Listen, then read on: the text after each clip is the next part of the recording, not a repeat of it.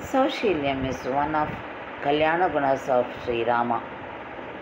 Sau- Saushalya means treating everyone equally, accepting others. During Vanavasa, Rama, along with Sita and Lakshmana, stayed under a tree at Shingaverapura. Guha was the king of that region. Guha was the leader of hunters. He had a very powerful military strength. He ruled his land very well. So he came to know that Rama had come to this place. So he collected his people, relatives, ministers, and along with them he visited that spot where Sri Rama stayed. And he was so sad to see Rama in, a, in that condition. Rama and Guha, they already met earlier, but when as a prince, Guha met him. But now the situation is different. So Guha was feeling so bad. And Lakshmana, watching Guha coming in large group, he inquired about them and he told Rama about it. Then Rama said, Yes, please allow him to come here. Let him come. Then Rama received Guha by embracing him. Guha felt very happy, but seeing Rama as a sannyasi, he was very much up, upset.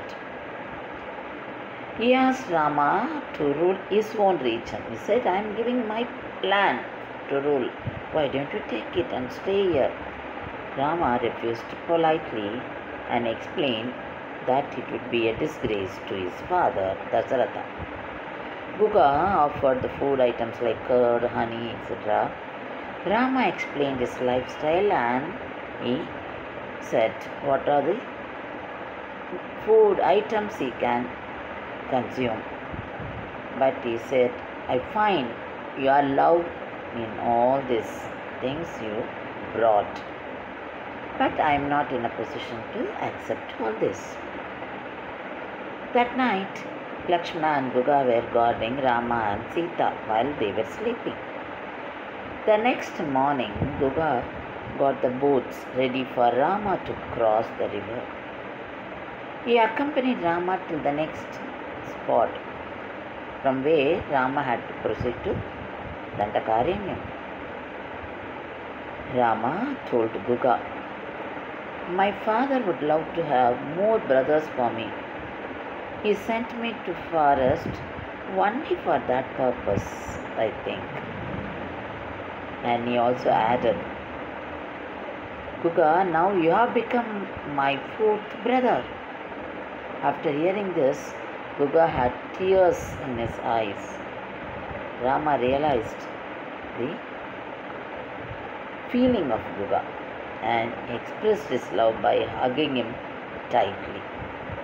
So, this was a reward for Guha's unconditional surrender to Rama, and that was a great recognition for his bhakti towards Sri Rama.